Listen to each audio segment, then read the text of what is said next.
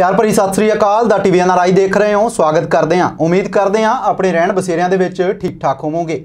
Aam Aadmi party ਸੱਤਾ ਦੇ ਵਿੱਚ ਆਉਂਦੀ ਹੈ। ਸੱਤਾ ਦੇ ਵਿੱਚ ਆਉਂਦੇ ਸਾਰ ਹੀ ਐਕਸ਼ਨ ਮੋਡ ਵੀ ਦਿਖਾਇਆ ਜਾ ਰਿਹਾ ਹੈ ਆਮ ਆਦਮੀ ਪਾਰਟੀ ਦੇ ਵੱਲੋਂ। ਜਿੱਥੇ ਬਹੁਤ ਸਾਰੇ ਲੋਕ ਇਹਨਾਂ ਦੇ ਕੀਤੇ ਹੋਏ ਵਾਅਦੇ ਦਾਅਵਿਆਂ ਦੀ ਪ੍ਰਸ਼ੰਸਾ ਕਰ ਰਹੇ ਨੇ ਤੇ ਜਿਨ੍ਹਾਂ ਨੂੰ ਬੂਰ ਪੈਂਦਾ ਵੀ ਦਿਖ ਰਿਹਾ ਹੈ। ਉੱਥੇ ਹੀ ਬਹੁਤ ਸਾਰੀਆਂ ਚੀਜ਼ਾਂ ਅਜਿਹੀਆਂ ਵੀ ਵਰਤਾਂਤ ਦੇ ਵਿੱਚ ਆਈਆਂ ਨੇ, ਵਾਪਰੀਆਂ ਨੇ, ਜਿਸ ਨੂੰ ਲੈ ਕੇ ਬਹੁਤ ਸਾਰੇ ਸਿਆਸੀ ਚਿਹਰੇ ਨੇ ਜਿਹੜੇ ਉਹ ਸਵਾਲਾਂ ਦੇ ਘੇਰੇ ਦੇ ਵਿੱਚ ਵੀ ਆਮ ਆਦਮੀ ਪਾਰਟੀ ਨੂੰ ਲਿਆ ਕੇ ਖੜਾ ਦਿੱਤਾ ਹੈ ਉਹਨਾਂ ਦੇ ਵੱਲੋਂ।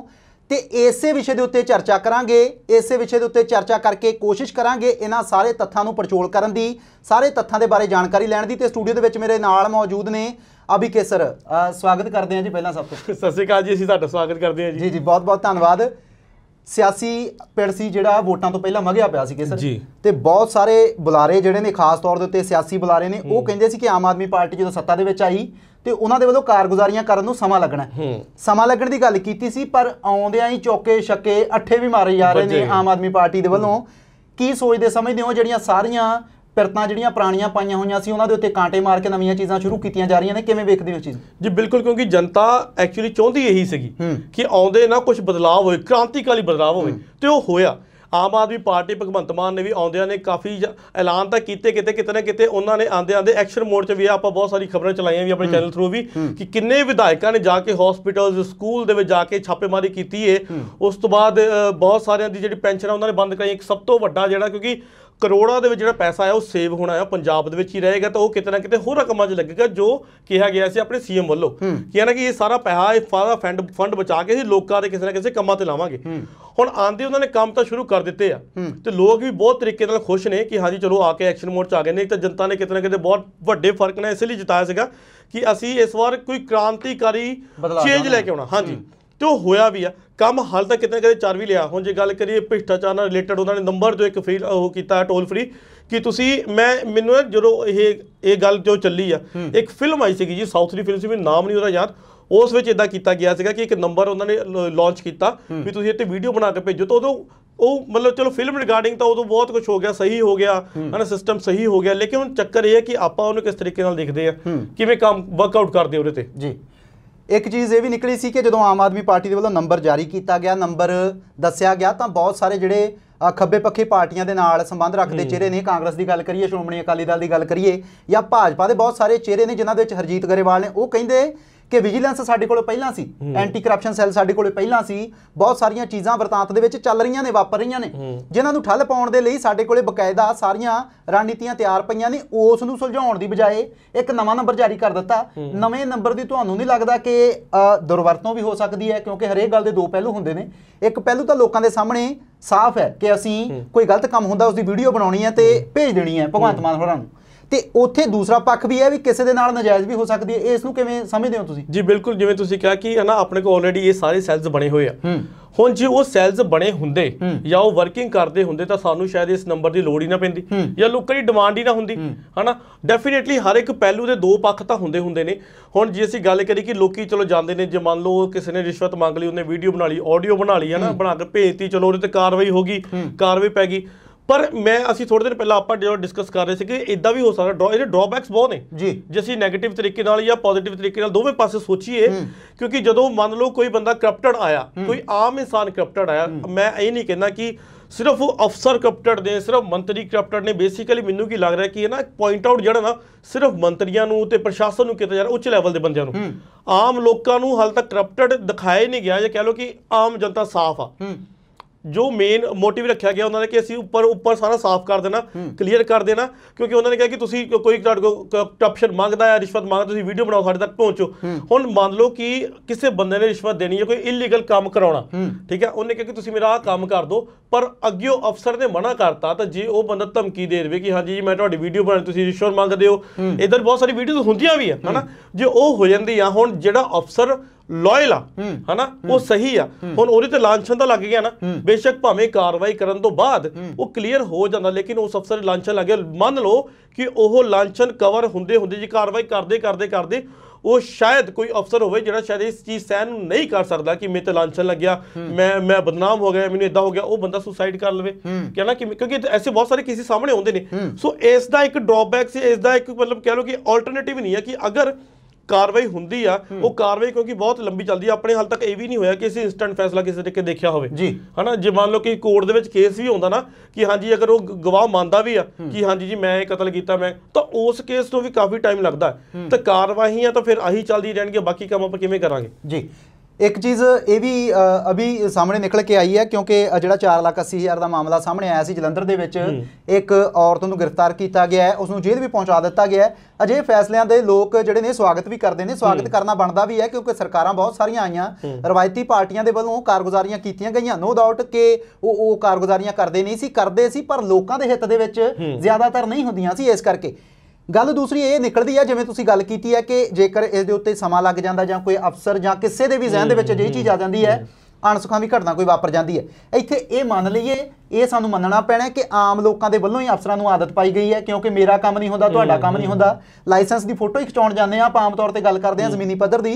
ਤਾਂ ਲਾਇਸੈਂਸ ਦੀ ਫੋਟੋ ਕਰਵਾਉਣ ਗਿਆ ਹੀ ਬੰਦਾ ਕਹਿ ਦਿੰਦਾ ਕਿ ਮੈਨੂੰ ਡੇਢ ਘੰਟਾ ਲੱਗਣਾ ਆਪਾਂ ਉੱਥੇ ਖੜੇ ਵਿਅਕਤੀ ਨੂੰ ਕਹਿ ਦਿੰਦੇ ਕਿ 500 ਰੁਪਏ ਲੈ ਲੈ ਯਾਰ ਮੈਂ ਕਿਤੇ ਜਾਣਾ ਤੇ 500 ਰੁਪਏ ਲੈ ਕੇ ਮੇਰੀ ਫੋਟੋ ਪਹਿਲਾਂ ਕਰਵਾ ਦੇ। ਤੁਹਾਨੂੰ ਇਹ ਨਹੀਂ ਲੱਗਦਾ ਕਿ ਆਮ ਲੋਕਾਂ ਦੀ ਵੀ ਉਨੀ ਗਲਤੀ ਹੈ ਜੇਕਰ ਅਫਸਰ ਉੱਤੇ ਕਰਪਟਡ ਨੇ ਤਾਂ ਕਰਪਟਡ ਕੀਤੇ ਲੋਕਾਂ ਦੇ ਵੱਲੋਂ ਹੀ ਗਏ ਨੇ ਨਾ। ਬਿਲਕੁਲ ਬਿਲਕੁਲ। ਹੁਣ ਜੇ ਮੰਨ ਲਓ ਤੁਹਾਡੇ ਕੋਲ ਕਿਸੇ ਨੇ ਪੈਸੇ ਮੰਗੇ ਆ ਤੁਸੀਂ ਮਨਾ ਕਰ ਦਿਓ। ਪਰ ਨਹੀਂ ਜੀ ਮੈਂ ਕੱਲ ਨੂੰ ਫੇਰ ਗੇੜਾ ਲੱਗੂਗਾ ਮੇਰਾ ਭਾਜੀ ਮੈਂ ਕੱਲ ਫੇਰ ਛੁੱਟੀ ਕਰੂੰਗਾ ਭਾਜੀ। ਹਨਾ ਤੁਸੀਂ ਇਦਾਂ ਕਰੋ ਭਾਈ 500 ਉੱਤੇ ਲਓ ਮੇਰਾ ਕੰਮ ਕਰਾ ਦਿਓ। ਕਰਪਟਡ ਤਾਂ ਮੈਂ ਹੋਇਆ ਨਾ। ਹਨਾ ਫਿਰ ਜੇ ਮੈਂ ਇਦਾਂ ਮੰਨ ਲਓ ਕਹਿ ਕੇ ਕਿਉਂਕਿ ਸਾਡੇ ਕੋਲ ਸਿਰਫ ਇੱਕ ਪੱਖ ਦੀ ਵੀਡੀਓ ਹੋਣੀ ਆ। ਹਾਂ। ਦੂਸਰੇ ਬੰਦੇ ਨੂੰ ਥੋੜਾ ਪਤਾ ਕਿ ਵੀਡੀਓ ਬਣਾ ਰਹੇ ਹੋ ਤੁਸੀਂ ਜਾਂ ਆਡੀਓ ਰਿਕਾਰਡ ਕਰ ਰਹੇ ਹੋ।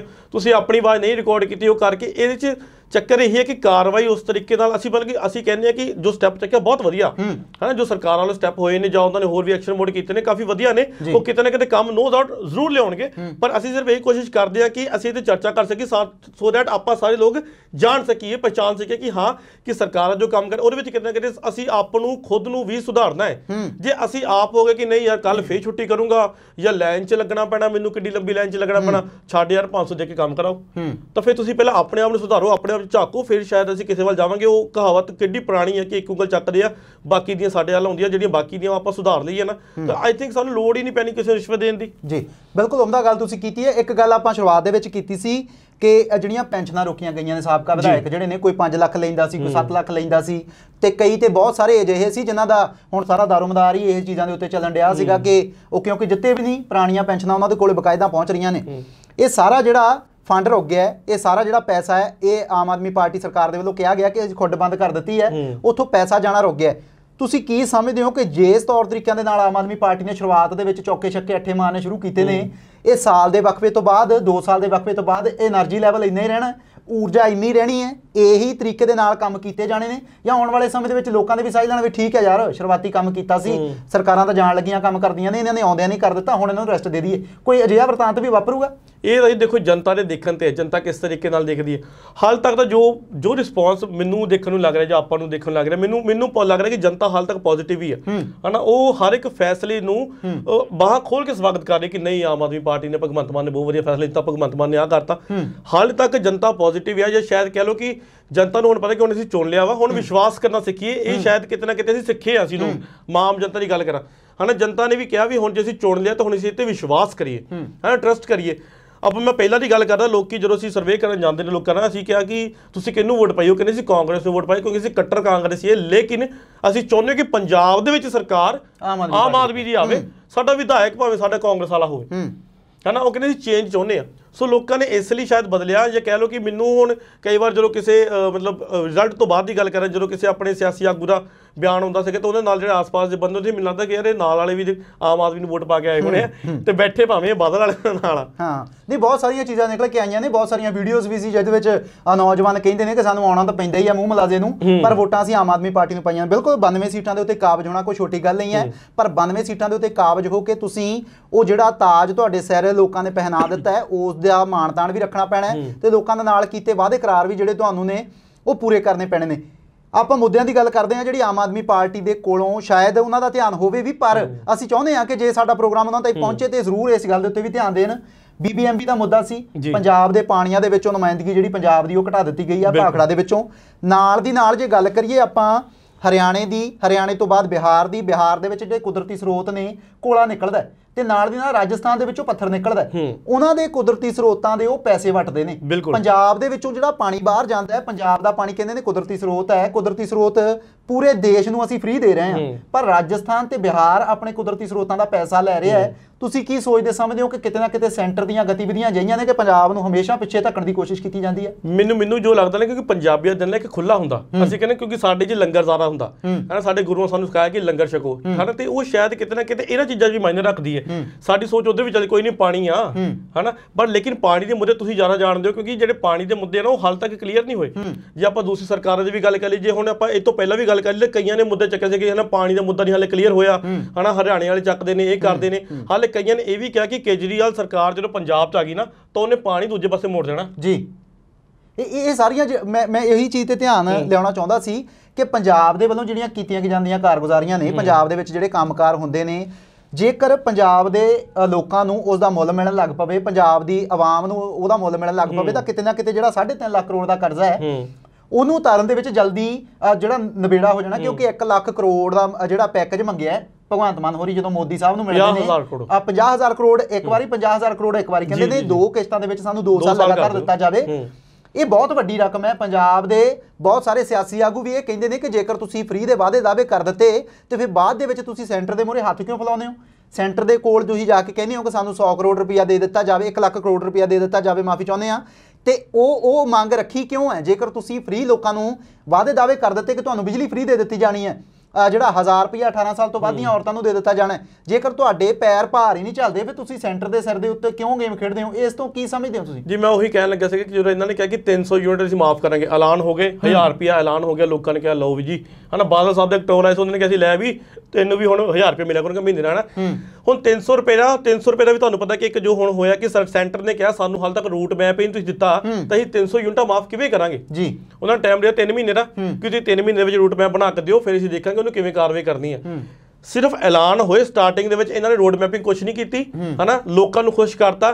ਚਲੋ ਲੋਕਾਂ ਨੇ ਵੋਟਾਂ ਪਾ ਕੇ ਲੈ ਜਾਂਦਾ ਕਿਉਂਕਿ ਲੋਕਾਂ ਨੇ ਬੇਸਿਕਲੀ ਮੈਨੂੰ ਵੀ ਕੀ ਲੱਗਦਾ ਕਿ ਸ਼ਾਇਦ ਲੋਕਾਂ ਨੇ ਇਹ ਨਹੀਂ ਦੇਖਿਆ ਕਿ ਕੇਜਰੀਵਾਲ ਸਰਕਾਰ ਹੈ ਕਿ ਕਿਹੜੀ ਉਹਨਾਂ ਨੇ ਇਹ ਦੇਖਿਆ ਕਿ ਸੀ ਐਰ ਕੀ ਪੁਰਾਣੀਆਂ ਸਰਕਾਰਾਂ ਸਾਈਡ ਤੇ ਕਰਕੇ ਨਵੀਂ ਲਿਓ। ਹਨਾ? ਹੁਣ ਜੋ ਹੁਣ ਸਾਡੇ ਸਾਹਮਣੇ ਆ ਰਹੇ ਨੇ ਹਨਾ? ਉਹਨਾਂ ਨੇ ਕਿਹਾ ਕਿ ਅ, 35000 ਮੁਲਾਜ਼ਮ ਪੱਕਾ ਕਰਨਾ। ਸੁਪਰੀਮ ਕੋਰਟ ਨੇ ਉਹ ਵੀ ਕੈਨਸਲ ਕਰਤਾ ਉਹਨਾਂ ਨੇ ਕਿਹਾ ਰੈਗੂਲਰ ਕਰ ਦਿਓ ਅਸੀਂ ਮੁਲਾਜ਼ਮ ਪੱਕਾ ਨਹੀਂ ਹੋਣ ਦੇਣਾ। ਹੁਣ ਇਹ ਵੀ ਜਿਹੜਾ ਬਿਆਨ ਆ ਇਹ ਵੀ ਜਿਹੜਾ ਐਲਾਨ ਸੀਗਾ ਉਹ ਵੀ ਕੈਨਸਲ ਹੋ ਗਿਆ। ਹਨਾ 300 ਯੂਨਿਟ ਵਾਲਾ ਵੀ ਹਾਲ ਤੱਕ ਪੈਂਡਿੰਗ ਪਿਆ ਵਾ। ਠੀਕ ਹੈ ਹਾਲੇ 1000 ਰੁਪਏ ਵਾਲਾ ਚਲੋ ਅੱਗੇ ਉਹਦੀ ਹਾਲੇ ਕੋਈ ਹਾਲ ਆਪਣੀ ਸੰਤੁਸ਼ਟੀ ਸਪੁਸ਼ਟੀ ਨਹੀਂ ਹੋਈ ਆ। ਕਿ ਉਹ- ਉਹਦਾ ਕੀ ਹੋਣਾ? ਹੁਣ ਚੱਕਰ ਇਹ ਹੈ ਕਿ ਉਹ ਅੱਗੇ ਸਿਰਫ ਉਹ ਐਲਾਨ ਤੇ ਐਲਾਨ ਕਰਦੇ। ਜੇ ਆਪਾਂ ਚੰਨੀ ਸਾਹਿਬ ਦੀ ਗੱਲ ਕੀ ਉਹਨਾਂ ਨੂੰ ਕਹਿੰਦੇ ਨੇ ਕਿ ਹਾਂਜੀ ਜੀ ਚੰਨੀ ਸਾਹਿਬ ਆਉਂਦੇ ਨੇ ਐਲਾਨ ਕਰੀ ਜਾਂਦੇ ਨੇ ਐਲਾਨ ਕਰੀ ਜਾਂਦੇ ਨੇ। ਤਾਂ ਐਲਾਨ ਤਾਂ ਇਹਨਾਂ ਨੇ ਵੀ ਕੀਤੇ ਪਰ ਕੰਮ ਤਾਂ ਹਾਲੇ ਉਹਦੇ ਤੇ ਵੀ ਨਹੀਂ ਹੋਇਆ। ਜੀ। ਐਕਸ਼ਨ ਮੋਡ ਜ਼ਰੂਰ ਹੋਇਆ। ਜੀ। ਪਰ ਬਦਲਾਅ ਦੀ ਨੀਤੀ ਲੋਕਾਂ ਨੂੰ ਚੰਗੀ ਲੱਗਦੀ ਹੈ ਸ਼ਾਇਦ ਨਵੀਆਂ ਚੀਜ਼ਾਂ ਇਹ ਕਹਿ ਰਹੇ ਨੇ। ਨਵੀਆਂ ਗੱਲਾਂ ਕਹਿ ਰਹੇ ਨੇ ਤਾਂ ਕਰਕੇ ਲੋਕ ਉਸ ਚੀਜ਼ ਨੂੰ ਜ਼ਿਆਦਾ ਮਹੱਤਵ ਦਿੰਦੇ ਨੇ ਕਹਿ ਸਕਦੇ ਆ ਤੇ ਲਾਸਟ ਗੱਲ ਦੇ ਨਾਲ ਆਪਾਂ ਗੱਲ ਨਿਬੇੜਦੇ ਹਾਂ ਪੰਜਾਬ ਦੀ ਜਿਹੜੀ ਸਿਆਸੀ ਧਿਰ ਹੈ ਆਮ ਆਦਮੀ ਪਾਰਟੀ ਦੇ ਜਿਹੜੀ ਖਿਲਾਫ ਖੜਦੀ ਹੈ ਕਾਂਗਰਸ ਲਾ ਲਈਏ ਨਾ- ਜਾਂ ਫਿਰ ਸ਼੍ਰੋਮਣੀ ਅਕਾਲੀ ਦਲ ਲਾ ਲਈਏ ਭਾਜਪਾ ਦਾ ਤਾਂ ਨਾਮ ਮਾਤਰ ਹੀ ਰਹਿ ਗਿਆ ਪੰਜਾਬ ਦੇ ਵਿੱਚ ਹਾਲਾਂਕਿ ਉਹ ਬਹੁਤ ਕਾਰਗੁਜ਼ਾਰੀਆਂ ਕਹਿੰਦੇ ਨੇ ਕਿ ਅਸੀਂ ਕੀਤੀਆਂ ਨੇ ਪਰ ਜਿੰਨੀਆਂ ਕੁ ਕੀਤੀਆਂ ਨੇ ਉਸ ਤੋਂ ਭਲੀ ਭਾਂਤੀ ਲੋਕ ਜਿਹੜੇ ਵਾਕਿਫ ਨੇ ਹਾਲੇ ਤੱਕ ਜਿਹੜੀਆਂ ਦੂਸਰੀਆਂ ਪਾਰਟੀਆਂ ਨੇ ਉਹਨਾਂ ਦੇ ਵਿੱਚ ਵੱਡੇ ਚਿਹਰੇ ਕਹਿ ਲਈਏ, ਸੁਖਪਾਲ ਖਹਿਰਾ ਦੀ ਗੱਲ ਕਰ ਲਈਏ, ਜਾਂ ਫਿਰ ਹੋਰ ਜਿਹੜੇ ਸਿਆਸੀ ਆਗੂ ਨੇ, ਜਿਨ੍ਹਾਂ ਦੇ ਵੱਲੋਂ ਜਿੱਤ ਪ੍ਰਾਪਤ ਕੀਤੀ ਗਈ ਹੈ ਕਾਂਗਰਸ ਦੇ ਵਿੱਚ ਰਹਿੰਦੇ ਹੋਏ। ਉਹ ਕਹਿੰਦੇ ਅਸੀਂ ਥੋੜਾ ਸਮਾਂ ਦੇਵਾਂਗੇ 2-3 ਮਹੀਨੇ ਦਾ 4 ਮਹੀਨੇ ਦਾ ਸਮਾਂ ਦਿੰਨੇ ਆ 4 ਮਹੀਨਿਆਂ ਦੇ ਵਿੱਚ ਜੇਕਰ ਆਮ ਆਦਮੀ ਪਾਰਟੀ ਦੇ ਵੱਲੋਂ ਕੋਈ ਪੁਖਤਾ ਕੰਮ ਨਹੀਂ ਕੀਤੇ ਗਏ ਜਾਂ ਜੇ ਇਸ ਤਰੀਕੇ ਦੇ ਨਾਲ ਇਹਨਾਂ ਨੇ ਆਪਣੇ ਆਪ ਨੂੰ ਦਰਸਾ ਕੇ ਲੋਕਾਂ ਦੀ ਵੋਟ ਬੈਂਕ ਹਾਸਲ ਕੀਤੀ ਸੀ ਉਹ ਨਾ ਕੀਤੇ ਗਏ ਤਾਂ ਫਿਰ ਅਸੀਂ ਨਕੇਲ ਕੱਸਾਂਗੇ। ਜਿਹੜੀਆਂ ਖੱਬੇ ਪੱਖੀ ਪਾਰਟੀਆਂ ਹੁੰਦੀਆਂ ਨੇ 92 ਸੀਟਾਂ ਤੋਂ ਬਾਅਦ ਕਿੰਨੀਆਂ ਕੁ ਸੀਟਾਂ ਰਹਿ ਜਾਂਦੀਆਂ ਨੇ ਵਿਰੋਧੀ ਧਿਰ ਬਣਨਾ ਬਹੁਤ ਮੁਸ਼ਕਲ ਹੈ ਕਿਉਂਕਿ ਵਿਰੋਧੀ ਧਿਰ ਦੇ ਨੇਤਾਵਾਂ ਦੀ ਗੱਲ ਸੁਣੀ ਤਾਂ ਹੀ ਜਾਊਗੀ ਜੇਕਰ ਮੋਰੇ ਹੋਣਗੇ ਕਿਉਂਕਿ ਰਾਜਾ ਵੜਿੰਗ ਦੇ ਵੱਲੋਂ ਵੀ ਜਿਹੜੀ ਗੱਲ ਕਹੀ ਗਈ ਸੀ ਉਸ ਤੋਂ ਬਾਅਦ ਵੀ ਰਾਜਾ ਵੜਿੰਗ ਦਾ ਕੋਈ ਬਿਆਨ ਨਹੀਂ ਆਇਆ ਕਿਉਂਕਿ ਸ਼ਹੀਦ ਆਜ਼ਮ ਸਰਦਾਰ ਭਗਤ ਸਿੰਘ ਹੋਣਾ ਦੀ ਜਨਮ ਤਰੀਕ ਵੀ ਉਹਨਾਂ ਨੂੰ ਯਾਦ ਨਹੀਂ ਸੀ। ਇਸ ਦਾ ਕਰਕੇ ਲੋਕਾਂ ਦੇ ਮਨਾਂ ਦੇ ਉੱਤੇ ਬਹੁਤ ਪ੍ਰਭਾਵ ਪਿਆ। ਖੱਬੇ ਪੱਖੀ ਪਾਰਟੀਆਂ ਜਿਹੜੀਆਂ ਨੇ ਵਿਰੋਧੀ ਧਿਰਾਂ ਨੇ ਉਹ ਲਗਾਤਾਰ ਸਰਕਾਰ ਦਾ ਵਿਰੋਧ ਕਰਦੀ ਹੈ ਵਿਰੋਧ ਕਰਦੀਆਂ ਨੇ ਜਿਹੜੀਆਂ ਸੱਤਾ ਦੇ ਵਿੱਚ ਹੁੰਦੀਆਂ ਸਰਕਾਰਾਂ। ਤੇ ਐਦਕੀ ਜਿਹੜੇ ਨੁਮਾਇੰਦਗੀ ਘੱਟ ਹੈ ਕਾਂਗਰਸ ਦੀ ਵੀ ਹੋਵੇ ਅਕਾਲੀ ਦਲ ਦੀ ਵੀ ਹੋਵੇ ਕੀ ਸਮਝਦੇ ਹੋ ਕਿਤੇ ਨਾ ਕਿਤੇ ਆਮ ਆਦਮੀ ਪਾਰਟੀ ਨੂੰ ਖੁੱਲ੍ਹ ਹੈ ਮੈਦਾਨ ਉਹਨਾਂ ਦਾ ਹੀ ਹੈ ਜਿਸ ਵੀ ਤਰੀਕੇ ਨਾਲ ਚਾਹਣ ਉਸ ਤਰੀਕੇ ਨਾਲ ਕੰਮ ਕਰ ਸਕਦੇ ਨੇ ਜਾਂ ਅਟਕਲ ਪਾਉਣ ਦੀ ਕੋਈ ਗੱਲ ਨਾ ਕੀਤੀ ਜਾਵੇ ਜਾਂ ਮੋਰੇ ਕੋਈ ਵਿਰੋਧ ਕਰਨ ਵਾਲਾ ਨਾ ਹੋਵੇ ਇਸ ਚੀਜ਼ ਦਾ ਪ੍ਰਭਾਵ ਆਉਣ ਵਾਲਾ। ਨਹੀਂ ਮੈਨੂੰ ਲੱਗਦਾ ਕਿ ਉਹ ਭਾਵੇਂ ਕਰਨ ਨਾ ਕਰਨ। ਹਨਾ ਕੋਈ ਸਿਆਸੀ ਆਗੂ ਜਿਹੜੇ ਦੂਸਰੇ ਵਿਪਕਸ਼ੀ ਨੇ ਉਹ ਕਰਨ ਨਾ ਕਰਨ ਲੇਕਿਨ ਆਮ ਜਨਤਾ ਨੇ ਕਰ ਦੇਣਾ। ਹਨਾ ਕਿਉਂਕਿ ਜੋ ਸਰਕਾਰਾਂ ਜਨਤਾ ਨੇ ਕਿਹਾ ਕਿ ਜੇ ਅਸੀਂ ਤੁਹਾਨੂੰ ਜਿਤਾਇਆ ਨਾ ਤਾਂ ਕੰਮ ਵੀ ਕਰਾਵਾਂਗੇ।